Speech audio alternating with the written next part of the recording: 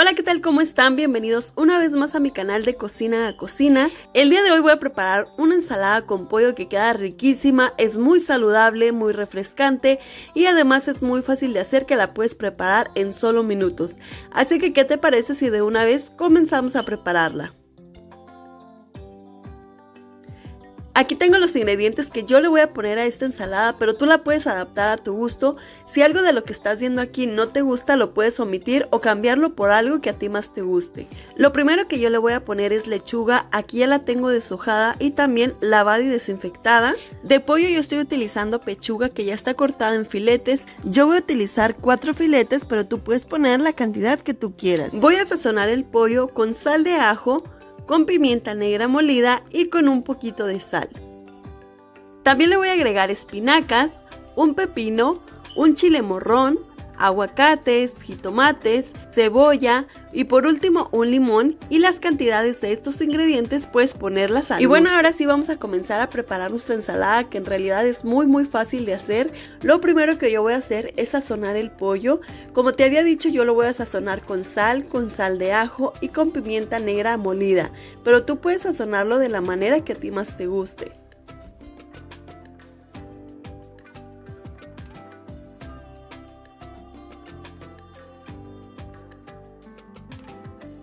Ya que sazonamos muy bien el pollo, ahora nos lo vamos a llevar a la estufa y ahí tengo un sartén ya caliente. Para dorar el pollo yo voy a utilizar manteca, pero tú puedes utilizar aceite, así que voy a poner un poquito de manteca en el sartén y voy a esperar a que se caliente.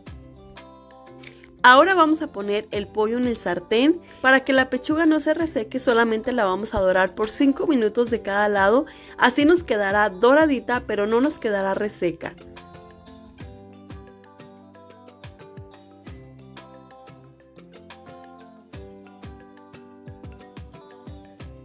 Ya que tenemos el pollo doradito, vamos a terminar de preparar nuestra ensalada.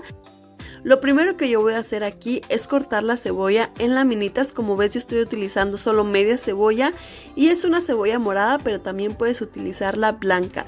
Lo que vamos a hacer es que la vamos a cortar bien delgadita y después la vamos a poner en un recipiente.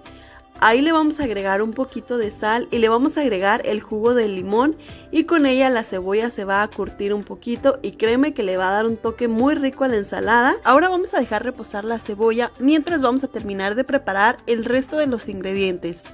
Lo primero que voy a picar son las espinacas que aunque como puedes ver son espinacas chiquitas solamente las voy a cortar en trocitos más pequeños. Ya que las picamos las vamos a ir agregando en un tazón que esté amplio en donde vamos a preparar la ensalada.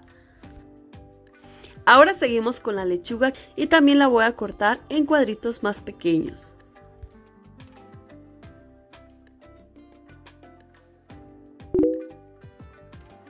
Seguimos con el chile morrón. Yo voy a utilizar uno verde, pero tú puedes utilizar uno rojo, uno amarillo, el que a ti más te guste. Después con los jitomates que los vamos a cortar en cuadros medianos.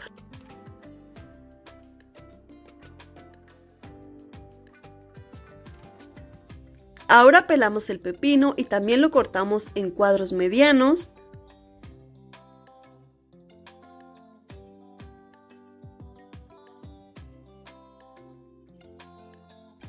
Aquí tengo los aguacates listos, como puedes ver están bien ricos, están en su mero punto, pero estos no los vamos a agregar ahorita. Primero nos vamos a traer el pollo y también lo vamos a picar en cuadritos medianos.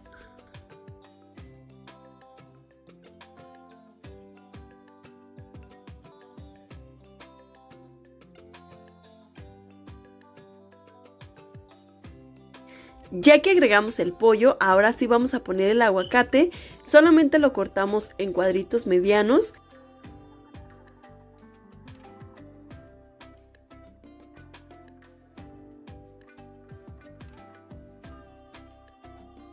A mí me gusta ponerle un poquito de tajín, pero este ya lo puedes poner en cada plato al gusto. Ahorita solamente le voy a poner un poquito de sal y pimienta negra molida.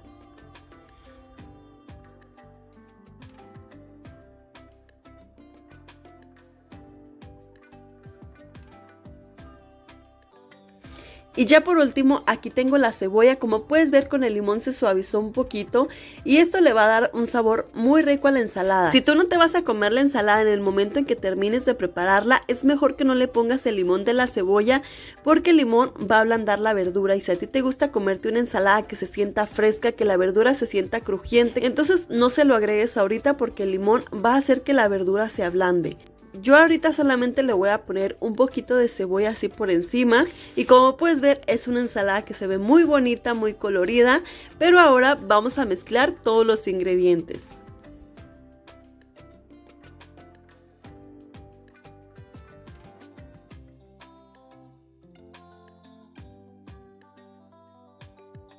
Y bueno, pues una vez que ya revolvimos todos los ingredientes, así es como ya queda lista nuestra ensalada.